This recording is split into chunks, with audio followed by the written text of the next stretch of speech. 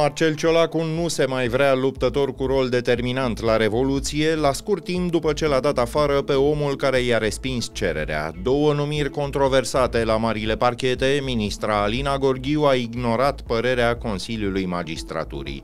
Și a doua zi a protestului transportatorilor și fermierilor, ei încearcă să intre în București și să se strângă la guvern. E joi, 11 ianuarie, ascultați știrile zilei de la Recorder.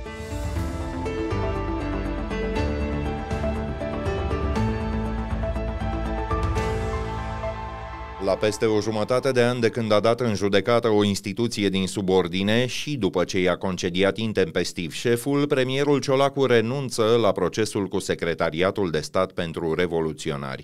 Tribunalul Buzău judeca plângerea sa față de o decizie prin care i s-a refuzat statutul de luptător cu rol determinant la Revoluția din 89. Marcel Ciolacu ceruse acest lucru, deși în Buzău nu s-au dat lupte între revoluționari și forțele regimului ceaușist. În vacanța de sărbători, chiar pe 28 decembrie, Marcel Ciolacu a demis pe Mihai Dodu de la conducerea secretariatului. Corpul de control îi recomandase acest gest, însă el a venit la scurt timp după ce Recorder a publicat integral documentele în baza cărora premierul a obținut certificatul de revoluționar. Presupusul rol determinant nu e confirmat nici de acte, nici de alți participanți. Mihai Dodu a spus că a fost vizitat de corpul de control al premierului la două săptămâni după ce ne-a furnizat în mod legal dosarul lui Marcel Ciolacu. Știți, practic, ce a supărat? Reportajul dumneavoastră.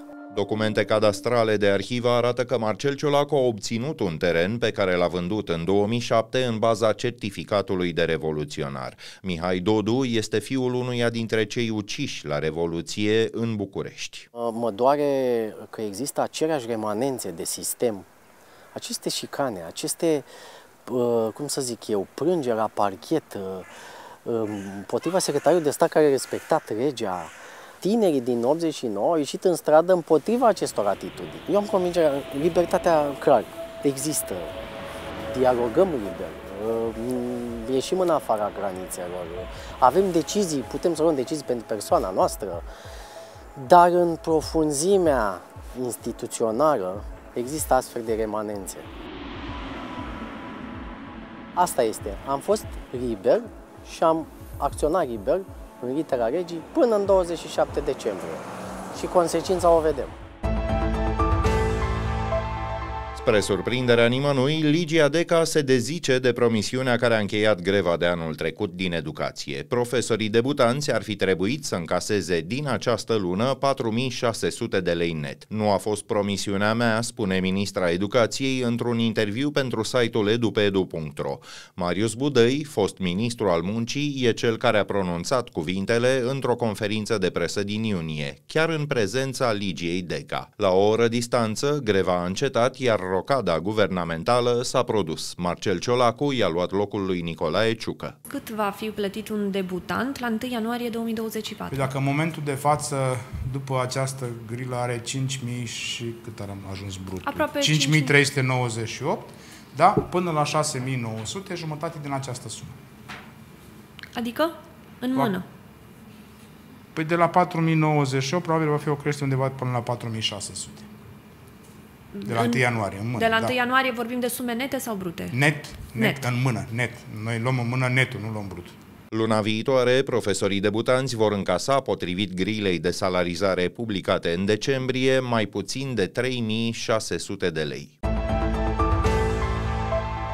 Sub amenințarea unei alte greve, guvernul a deblocat peste 7.000 de posturi în sănătate și în asistența socială. Sindicatele din domeniu spun însă că deficitul de personal e încă o dată pe atât, de 15.000 de posturi. Angajările se opriseră anul trecut, iar marile spitale se plâng că supra-solicitarea i-a făcut pe mulți să demisioneze. Premierul Marcel Ciolacu.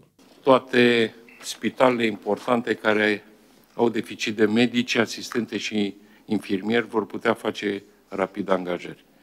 Ministerul Sănătății are în acest an un buget cu peste 40% mai mare decât în 2023. După cum spuneam, organizația sindicală Sanitas se plânge că spitalele funcționează în continuare la nivel de avarie, amenințarea cu greva rămâne în vigoare, pentru că angajații vor să se majoreze și plata pentru gărzi. Ministrul Alexandru Rafila spune că dacă va mai fi nevoie, instituția sa o să mai deblocheze posturi în acest an.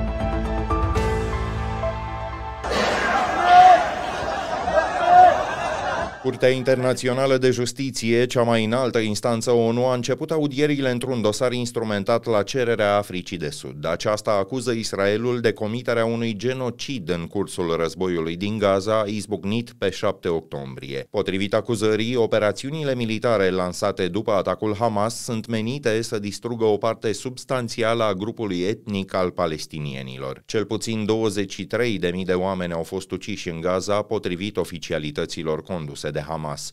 Infrastructura din numeroase localități a fost distrusă și circa un milion de oameni au fost strămutați. Israelul, care își va susține mâine poziția, a respins acuzația drept una fără fundament. Curtea Internațională de Justiție va emite o simplă opinie în acest dosar, dar semnalul pe care ea îl trimite e de așteptat să influențeze demersurile diplomatice în acest caz. Israelul a semnat Convenția ONU privind combaterea genocidului, care definește acest act drept intenția de a distruge parțial sau în întregime un grup etnic, național, rasial sau religios. Deciziile instanței din Haga sunt teoretic obligatorii, dar ONU nu poate impune ca ele să fie executate. Rusia, de pildă, a ignorat în 2022 o sentință care îi cerea să oprească operațiunile militare din Ucraina.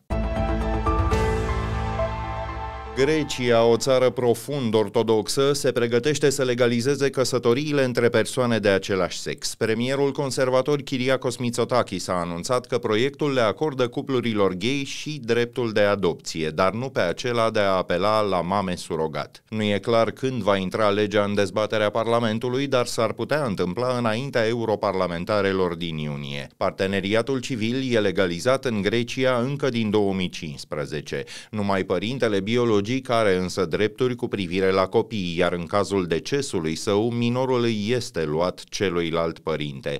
E ca și garantat că proiectul se va lovi de opoziția tradiționaliștilor și a bisericii ortodoxe. Teoretic, România e obligată de o sentință CEDO să legifereze și ea parteneriatul civil până pe 25 martie.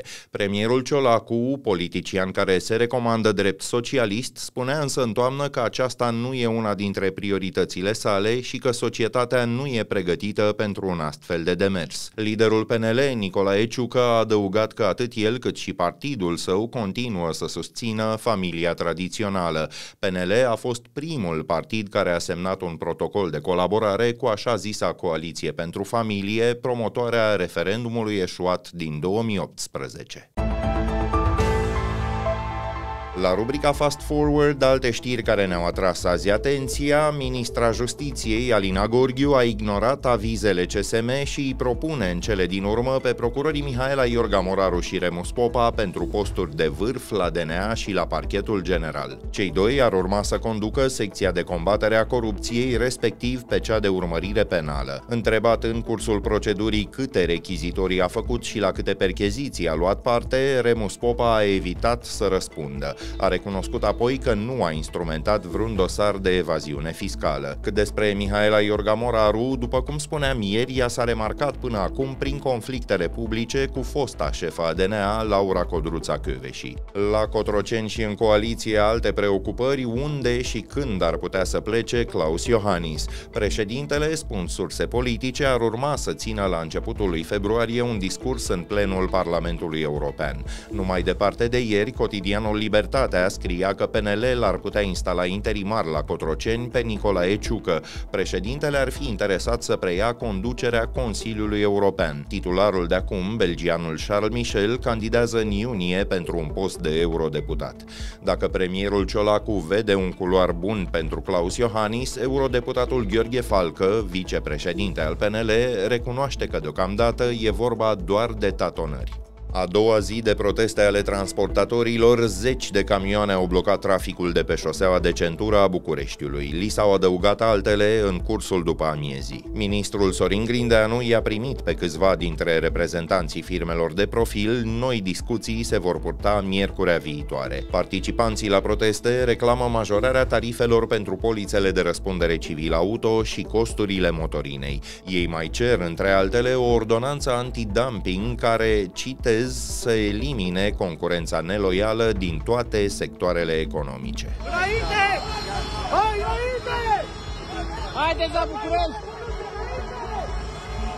Să mai spunem că, la fel ca ieri, fermierii s-au alăturat protestului transportatorilor la Chiajna, în apropierea Bucureștiului, ei au spart barajul poliției și și-au continuat drumul către oraș. Vor să ia parte la un protest în fața guvernului, unde, la ora înregistrării acestui podcast, jandarmeria a montat garduri de protecție. Fotbalistul Radu Drăgușin a fost prezentat oficial la echipa londoneză Tottenham. El ar putea să fie titular încă din acest weekend în partida cu Manchester United de duminică. Fundașul central s-a transferat în Anglia de la echipa italiană Genoa pentru suma de 25 de milioane de euro.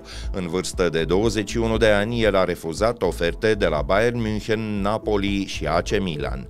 Radu Drăgușin a devenit prin acest transfer cel mai scump jucător român din istoria de de până acum. A depășit recordul de 19 milioane de euro stabilit de Adrian Mutu. Punem punct aici știrilor zilei. Pe YouTube vă puteți abona apăsând clopoțelul care activează notificările. Iar în stânga lui, opțiunea Join vă permite să deveniți membri ai comunității. Știrile zilei sunt de găsit și pe canalul propriu de WhatsApp. Vă puteți abona pentru a primi notificări o dată pe zi în momentul în care publicăm o nouă ediție. Iar despre anchetele și reportajele noastre noastre puteți afla de pe canalul de WhatsApp al Recorder. Ne auzim din nou mâine seară. Sunt Filip Stan David, toate cele bune!